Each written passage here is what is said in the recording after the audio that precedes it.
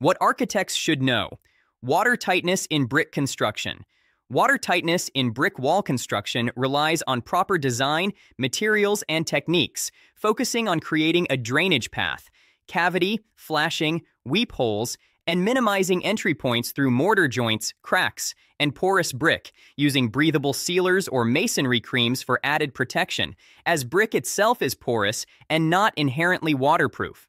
Key elements include a continuous cavity with proper airspace, correctly sloped damp-proof course, DPC, clean weep holes, and well-filled jointed mortar.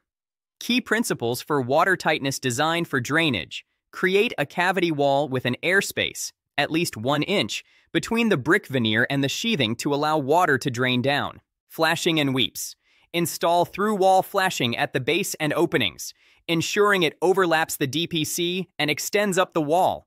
Weep holes, unfilled mortar joints at the bottom, let water escape. Mortar and joints. Ensure mortar fully fills head and bed joints, no voids, and is tooled to shed water. Use a consistent 10mm joint for proper water shedding. Brick material. Bricks are porous, so water can seep through them, especially during heavy rain, highlighting the need for cavity walls and drainage systems. Construction best practices. Cavity cleaning. Keep the cavity free of mortar droppings and debris to maintain the drainage path.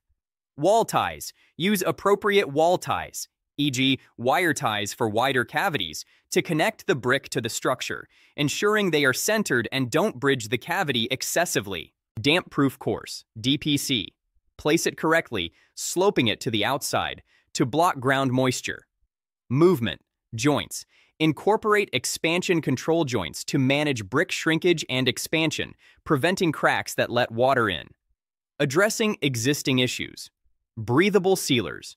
Use masonry creams or hydrophobic treatments that penetrate the brick, creating a water-repellent lining without sealing the pores, allowing the wall to breathe and dry out. Crack repair. Repair cracks promptly with appropriate mortar or sealants to prevent water ingress.